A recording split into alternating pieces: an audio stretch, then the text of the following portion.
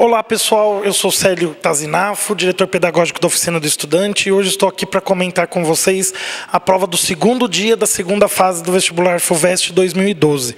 Uma prova sem surpresas, com abordagem de temas clássicos, que dificilmente trouxe algum assunto que um aluno que tenha chegado na segunda fase da FUVEST não tenha esbarrado e estudado ao longo do seu percurso durante os anos de ensino médio.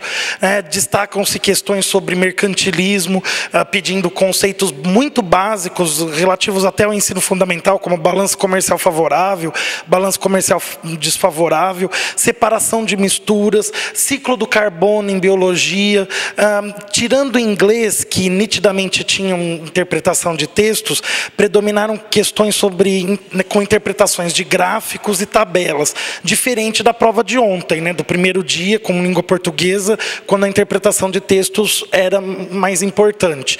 Ah, a gente tem ah, uma, uma prova muito objetiva, com questões bastante diretas, do tipo cite, explique, é, e com a, cobrando a habilidade redacional dos estudantes.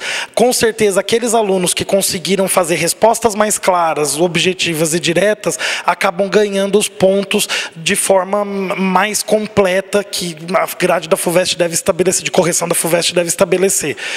Amanhã temos o terceiro dia de provas, com 12 questões, dependendo da carreira escolhida pelo candidato.